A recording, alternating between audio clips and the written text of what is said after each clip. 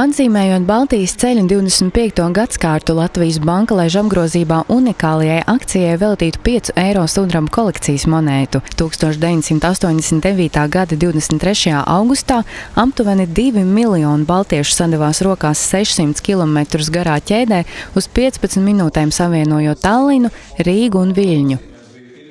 1989. gada decembrī, tātad tikai dažus mēnešus pēc Baltijas ceļa, tomēr izskatīja toreiz izveidotās Ribbentrop-Molotova pakta slepeno protokolu izmeklēšanas komisijas rezultātus, kurus ilgi negribēja apstiprināt PSRS tautas deputātu kongresā, un pēc diviem dramatiskiem balsojumiem ar ļoti niecīgu balsu vairākumu tomēr balsoja par to, ka šāda slepena vienošanās par pasaules Eiropas telpas sadalīšanu ir bijusi un ka Ribbentropa-Molotova sāteniskais pakts ir atzīstams par nelikumīgu no parakstīšanas brīža.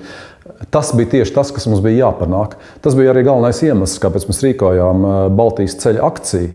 Lai gan Latvijas komunistiskās partijas centrālā komiteja lika šķēršus Baltijas ceļu norisē, noteiktajā laikā sāka dunēt baznīcu zvani, cilvēki izgāja uz ceļu un sadavās rokās. Toreizējais Latvijas tautas fronts priekšsēdētājs Dainis Ivāns Baltijas ceļa laikā stāvēja cilvēku ķēdē uz Latvijas un Igaunijas robežas.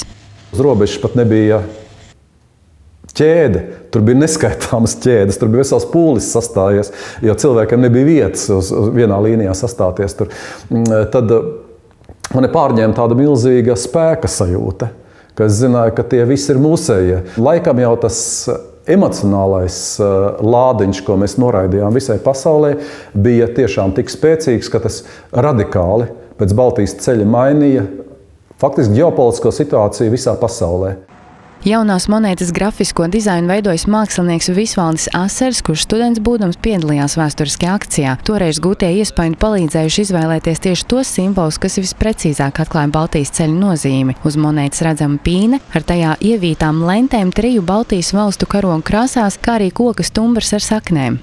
Pats svarīgākais ir visam ir savs pirmsākums. Un šeit ir šīs trīs saknes, kas ir Igaunijas saknes, latviešu saknes un lietuviešu.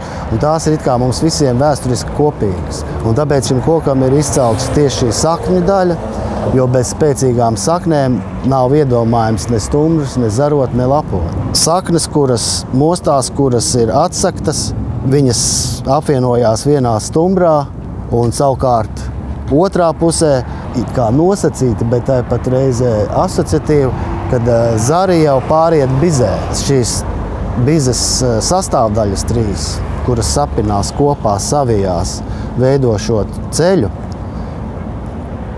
kas ir šis, šis nu, kā virzība, kā ceļš un, un tieši tas vījums, jo tā vienotība un tā eh, mūsu, kā saka, valstīm, trijām, ja, viņi tajā mirklī izpaudās visprecīzāk un vistiešāk un viskonkrētāk.